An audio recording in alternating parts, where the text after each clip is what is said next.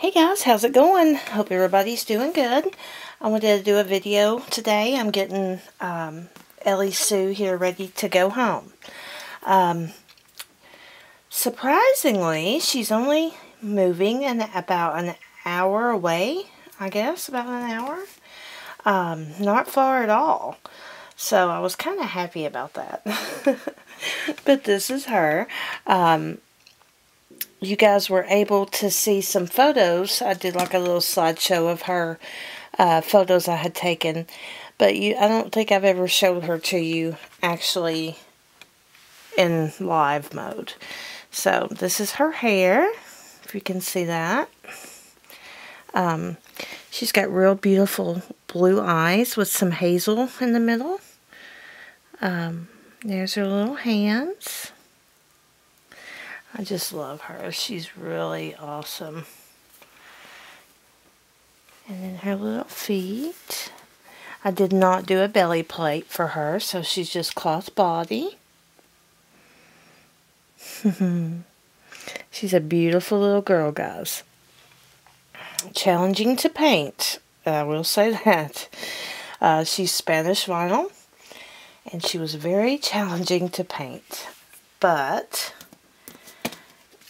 as long as you take your time, it's you can do it. It's no big deal. This is her certi certificate of authenticity. She's 1343 of 1500. And then I'm just getting her documents here ready. Let me see if I can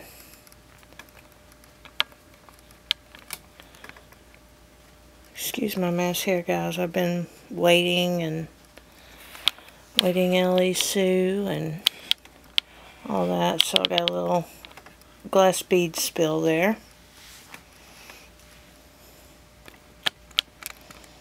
Let me zoom in with my annoying zoom. You guys can kind of watch what I'm doing here. These are some of the documentation items I send home. I send home the, of course, the COA. And then this, I'm not sure if I've showed this to you before. These are my little birth certificate cards that I send home. Um, they have, I usually feature a couple of my newest babies on the front. And then on the back, I try to put some um, the most accurate information about the doll. So I'll put the day she was born, which I always do the day she was purchased. So she was purchased on July the 10th. Of 2018.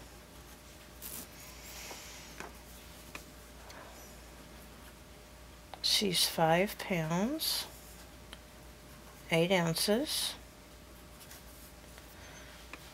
She's 19 inches.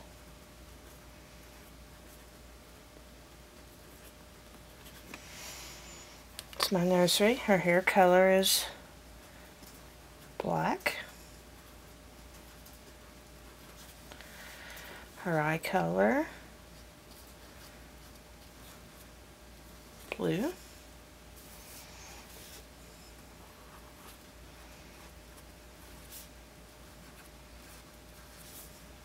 Ellie Sue for Bonnie Brown. And then I give each doll, I do an actual ID certificate number um, so that if anyone has any issues or trouble, they can look back. Uh, they can contact me and I can just kind of reference it and say, yes, okay, that is my, my doll. So um, I'll put that on there here in a bit. Um, so that'll go with her. And then I just do a couple of business cards and then her care instructions. And that's pretty much it uh, as far as the paperwork goes. Um, her mom, in particular, did not want a um, magnetic pacifier, so I didn't include that. So, let me get you back here to the pretty girl. and I just wanted to talk to you guys also about a couple of things while I'm getting her ready to go. As far as what I'm going to be doing with the channel. I know a lot of you are anticipating giveaways. Um, I haven't done a giveaway since February and I've been really busy so I would like to do at least another giveaway this year maybe even two more I'm not 100% positive on the number but at least one more and I'm wanting to do it soon like very soon like this month soon um, in celebration of my prototype release, which I get to show you guys tomorrow. Yay! Or today, actually, later on today. Um, it's kind of late here, so. Um, but I would like to do that. And I just, I enjoy giving away dolls and because you know it makes people happy and I always like making people happy so so that's one thing I'll be doing soon. The next thing is I did something that is kind of crazy. I purchased a sewed out kit from a private person. Um, it's a I've been wanting to do the kit. I wanted to do the kit when she come out. But before I got a chance to get to her, she had sold out. And so, been thinking about it and thinking about it, and I was like, you know what? I'm just going to go on and see if they, someone has her up for sale. So, I went online and found her, and um, she was ridiculously expensive, but I bought her. So, it's the Anastasia by Olga Auer. Um, if any of you are familiar with it. I will be doing her within the next month or so. Um, and I will be putting her up for sale. And I'll probably have to, you know, I'm going to have to at least charge $250 over my normal prices, which is ridiculous. I know, but I'm just going to have to because I got to make my money back. But I just I love her. I love the kit. And I really wanted to do that. So, her kit, I've, um, excuse me, I tracked it. And it's in New York now. So, I should get it probably in just a few days. I actually, I expected it to take a little bit longer, but luckily it hasn't. Yay! So, um, that's a new thing that I'm going to be doing. So watch out for that kit. Um, I'll do a video on that kit and my giveaway. I'll probably start it there on Facebook. I have kind of an idea of how I want to go with it. I'll probably start it on Facebook. I'm not sure if um, it'll be a requirement to like my page or whatever. I haven't really thought of all the ins and outs there yet, but I'm thinking it might be. Um, just because you know, I, I do also like to get, of course we all do, we like to get a little publicity out of it. And that's what I'm, you know, I like to do. It also helps me uh, get my name out there and get my art out there. And also helps the winner of the kit by making them happy and, you know, they receive a free baby. So, um, you know, it takes a good long time to create a reborn and it takes a lot of hard work so you know I don't think asking um, for someone to follow me on Facebook and maybe tag some friends in and like a video. I don't think it's too much to ask honestly um, for all the work that's involved with it. I really don't. I think that's kind of fair so um, also I wanted to to talk to you guys about something I had seen today on Facebook, there's people actually creating hate groups um, against reborn moms. And I don't know, it really upset me. As you guys know, I am not a collector. Um, I do have a few for my daughter. So, you know, I do have some here at the house.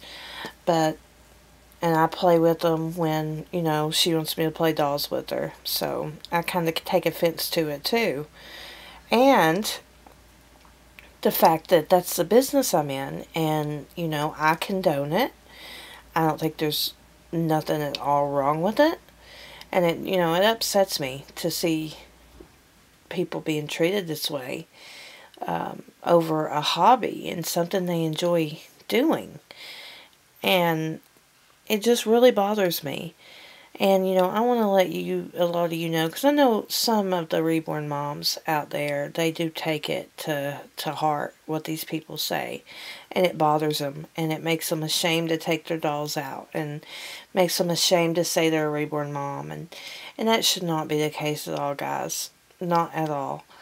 Um, you know, for those of you that's been watching me since I started a year and a half ago, um, you may remember the background video I did on myself, how I actually started painting many years ago.